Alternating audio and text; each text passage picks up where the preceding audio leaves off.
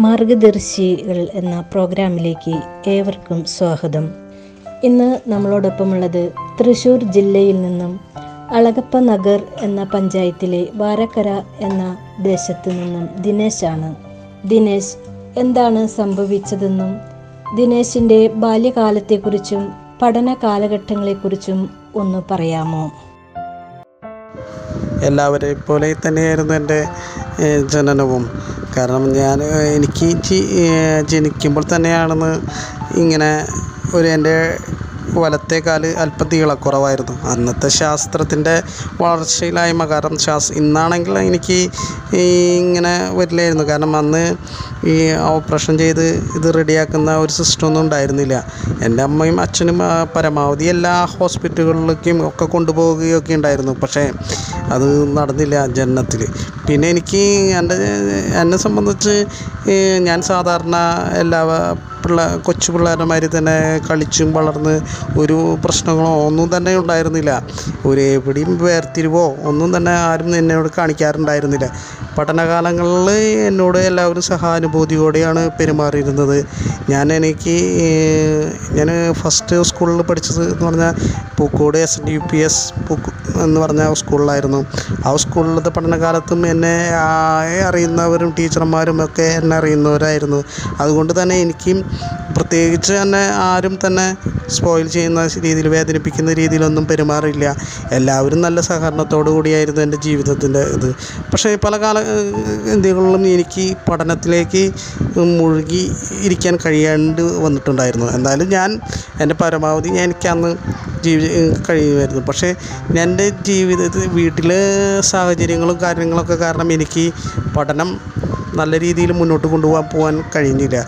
അതുകൊണ്ട് തന്നെ ഞാൻ പത്താം ക്ലാസ് കഴിഞ്ഞ് പത്താം ക്ലാസ് ഏഴാം ക്ലാസ് വരെ Pookode S N D P S സ്കൂളിലും പിന്നീട് മാത ഹൈസ്കൂൾ മണ്ണമ്പെട്ടായിലാണ് പത്ത് ഹൈസ്കൂൾ ജീവിതം. ഹൈസ്കൂൾ ജീവിതമൊക്കെ എന്ന് പറഞ്ഞാൽ എന്നെ സംബന്ധിച്ച് വളരെ സുവർണകാലമായിരുന്നു. കാരണം എനിക്ക് ഒരുപാട് ഫ്രണ്ട്സും ഒരുപാട് ആൾക്കാർ എന്നോട് നല്ല രീതിയിൽ പെരുമാറുന്നതും ഒക്കെ. എന്ന് പറഞ്ഞാൽ അത് ഒന്നും ഓർക്കുമ്പോൾ തന്നെ ഏറ്റവും നല്ല കാല കാലഘട്ടങ്ങളായിരുന്നു. ഒരിക്കൽ പോലും ഞാൻ എന്റെ കാലിൽ ഇങ്ങനെ ഒരു ഇതുണ്ടെന്നൊന്നും എന്റെ കൂട്ടുകാരോ ഒന്നും തന്നെ എന്നെ ആ- ഒരു രീതിയിൽ എന്നെ കണ്ടിരുന്നില്ല. ഒരു കളിയിലോ ഇതിലൊന്നും എന്നെ മാറ്റി നിർത്തുകയോ ഒന്നും തന്നെ ചെയ്തിരുന്നില്ല. കാരണം അവർക്കൊക്കെ ഞാനും എല്ലാ എല്ലാ കാര്യങ്ങൾക്കും ഞാൻ ഇൻവോൾവ് ആയിരുന്നു. ഒരുപാട് എല്ലാവരോടും നല്ല രീതിയിലും സ്നേഹത്തോടു കൂടിയുമാണ് എന്നെ ഞാൻ പെരുമാറിയിട്ടുണ്ടോ.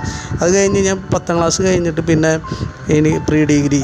പ്രീ ഡിഗ്രി ഞാൻ സെന്റ് തോമസ് ഏഹ് കോളേജിലായിരുന്നു. തൃശ്ശൂർ സെന്റ് തോമസ് കോളേജിലായിരുന്നു എന്റെ കോളേജ് ജീവിതം. അത് ആ രണ്ട് വർഷത്തോടു കൂടി അവസാനിക്കുകയുണ്ടായി. കാരണം ജീവിതം വീട്ടിൽ സാഹചര്യം വളരെ മോശമായിരുന്നു. അതുകൊണ്ട് തന്നെ പ്രീ ഡിഗ്രി എനിക്ക് പകുതിക്ക് എന്ന് പറഞ്ഞാൽ കംപ്ലീറ്റ് ചെയ്യാൻ പറ്റി. എന്നാലും എനിക്ക് ജയിക്കാൻ സാധിച്ചില്ല. എന്നാലും ഞാൻ വളരെ പിന്നെ പിന്നീട് എന്റെ ചേച്ചിയുടെ കല്യാണവും കാര്യങ്ങളൊക്കെ ആയിട്ട് അതിനുള്ള പൈസയും കാര്യങ്ങൾക്കൊക്കെ ആയിട്ട് ഞാൻ എന്റെ ജീവിതം മുന്നോട്ട് കൊണ്ടുപോവുകയാണ് ചെയ്തത്. ബാല്യത്തെക്കുറിച്ചും പഠന കാലഘട്ടങ്ങളെക്കുറിച്ചും വളരെ സന്തോഷം നിറഞ്ഞ വാക്കുകളാണ് കേൾക്കാൻ കഴിഞ്ഞത്. അതിൽ ഒരുപാട് സന്തോഷം തോന്നുന്നു. അതോടൊപ്പം ദിനേശിന്റെ ജീവിതത്തിൽ ഒപ്പം നിന്ന് കൈപിടിച്ചുയർത്തിയവരെക്കുറിച്ചും ഇപ്പോഴത്തെ ജീവിതാവസ്ഥകളെക്കുറിച്ചും ഒന്ന് പറയാമോ?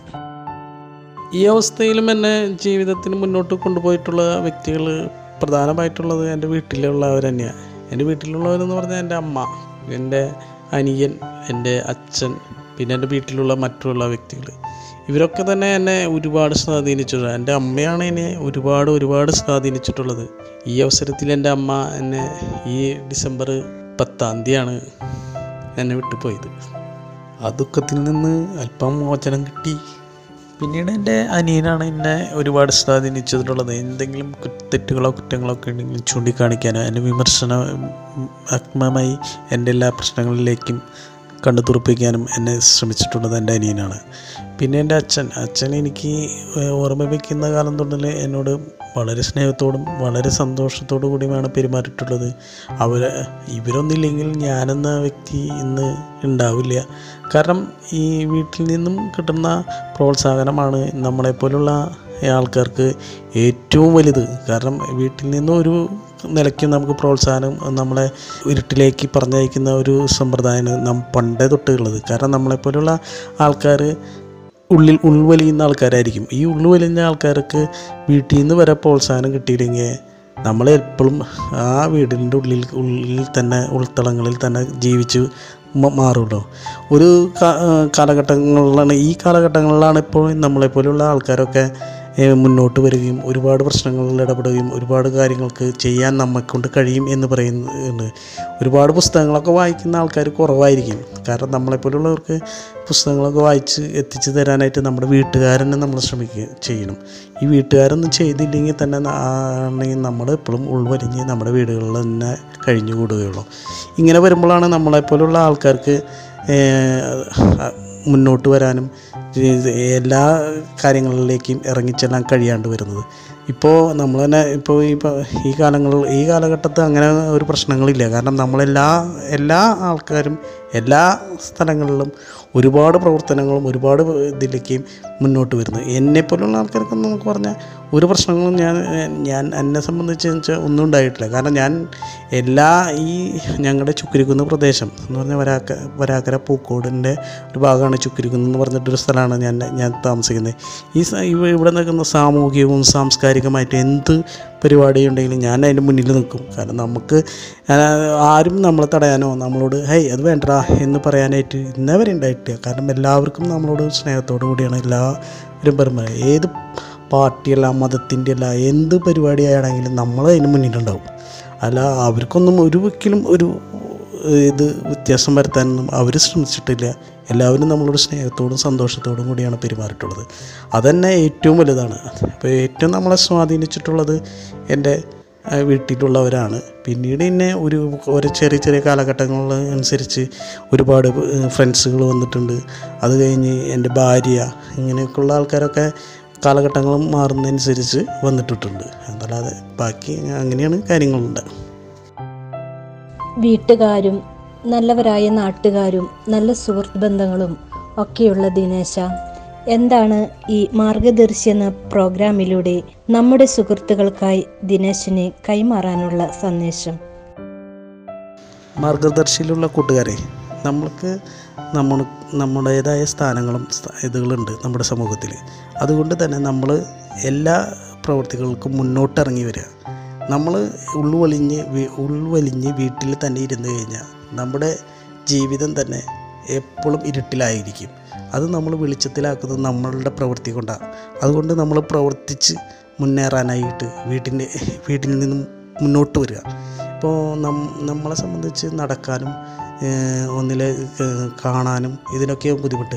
ഈ പരിമിതികളൊക്കെ തരണം ചെയ്ത് നമ്മുടെ ജീവിതത്തിലേക്ക് ഒരുപാട് ഉന്നമനങ്ങൾ കൊണ്ടുവന്ന ഒരുപാട് വലിയ വലിയ ആൾക്കാർ നമ്മുടെ സമൂഹത്തിലുണ്ട്. അവരൊക്കെ വഴികാട്ടിയായി നമ്മൾ മുന്നോട്ട് വരണം. നമ്മുടെ സമൂഹം സമൂഹത്തിൽ നമ്മളും സമൂഹ ജീവിയാണ്. അത് മനസ്സിലാക്കി എല്ലാ കൂട്ടുകാരും നല്ല നല്ല പ്രവൃത്തികളും നല്ല നല്ല പ്രവർത്തനങ്ങളുമായി മുന്നോട്ട് വരട്ടെ എന്ന് ഈ അവസരത്തിൽ ഞാൻ ആശംസിക്കുന്നു. മാർഗദർശിനി എന്ന ഈ പ്രോഗ്രാമിലേക്ക് ക്ഷണിച്ച ഇതിന്റെ പ്രവർത്തകരും ഇതിന്റെ സാങ്കേതിക വിദഗ്ധർക്കും ഞങ്ങളുടെ പ്രത്യേകം നന്ദി രേഖപ്പെടുത്തുന്നു. ഇനി ഞങ്ങൾക്ക് ഇതുപോലുള്ള അവസരങ്ങൾ നൽകണമെന്നും പുറം ലോകത്തുള്ള എല്ലാവരെയും ഞങ്ങളെപ്പോലെയുള്ളവരെ അറിയിക്കുന്ന നിങ്ങളുടെ ഈ പ്രവൃത്തി മഹത്തരമാണെന്നും ഈ അവസരത്തിൽ ഞാൻ വ്യക്തമാക്കുന്നു. നന്ദി നമസ്കാരം.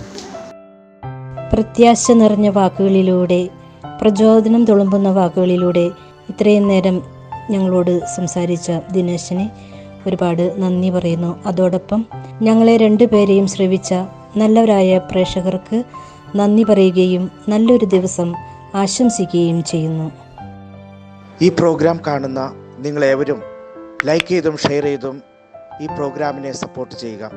ഇതുവരെ നിങ്ങൾ ഈ ചാനൽ സബ്സ്ക്രൈബ് ചെയ്തിട്ടില്ല എങ്കിൽ മറക്കാതെ സബ്സ്ക്രൈബ് ചെയ്യുക. അതിനായി ബെൽബട്ടൺ അമർത്തുക.